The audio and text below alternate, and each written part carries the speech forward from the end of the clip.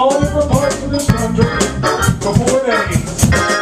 Sometimes you know them, sometimes you don't. But before you leave here, we want to know everybody. So we're going to give everybody a brief tonight.